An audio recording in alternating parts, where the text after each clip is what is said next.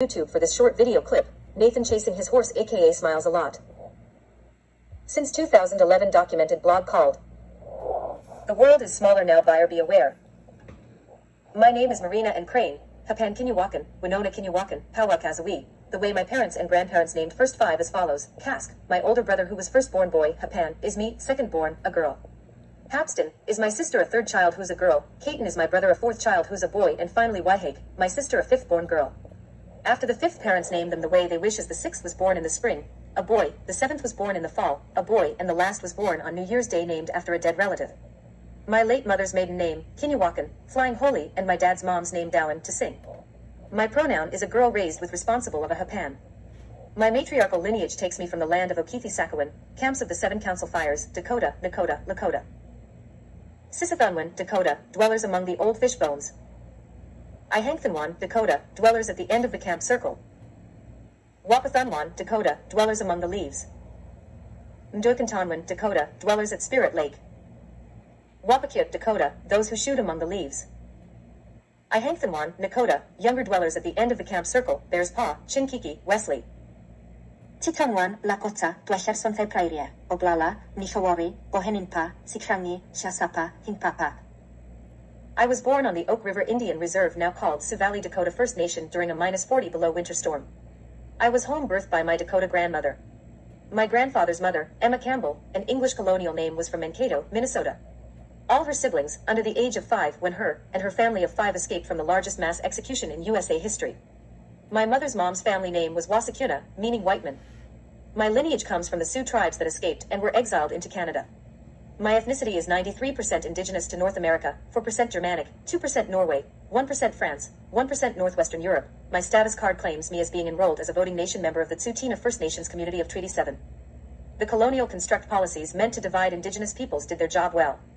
Having spoke fluent Dakota Sioux until I went to day school, I lost my ability to speak Dakota. I was raised listening to various languages of the Treaty 7 area. Paradoxically, white supremacy based colonial governments deemed inherent rights, too spirited, too SLGBTQ, murdered and missing indigenous girls, indigenous women as invisible, non human beings rather animalistic. We are at the bottom of the Canadian socioeconomic ladder. Historical gendered based violence, land theft, mass incarceration, racial injustice with the health system, and in the police forces is critical. The crisis of mental health for Indigenous is triggering to an already vulnerable population. Indigenous and black people continue to advocate for an attempt to work within these systems. Systemic racism meant to harm me and my community before my birth. I hope that we can honor the indigenous peoples of the Americas. Within the next few months, I'll be wrapping up this blog site. As most of my conversation speaks of gender violence that was forced on these lands by Christian outsiders. The gender violence towards indigenous girls and indigenous women was declared in Ottawa as a national crisis in 2023. Much of my blog is an explanation of this violence towards indigenous girls and women, as taught to me through my own family and my own lived experience.